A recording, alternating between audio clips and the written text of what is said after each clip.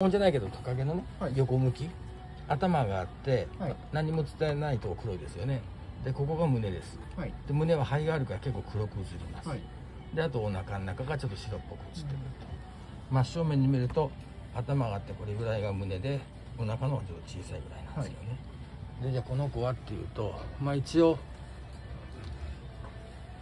これが胸ですね、はい。でここがお腹です。中で胸のこのまあでもそこそこあるかな。まあ一応ただ黒さがちょっと足りんかもしれないですね。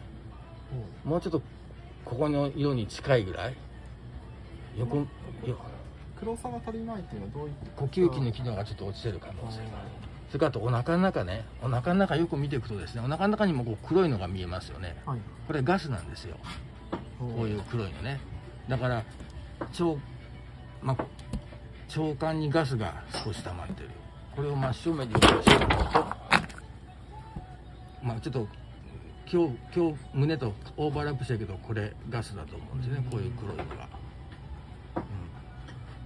うん、だからちょっと消化器の機能も落ちてる可能性があるなと。そういうふうには思いました。はい。で続いて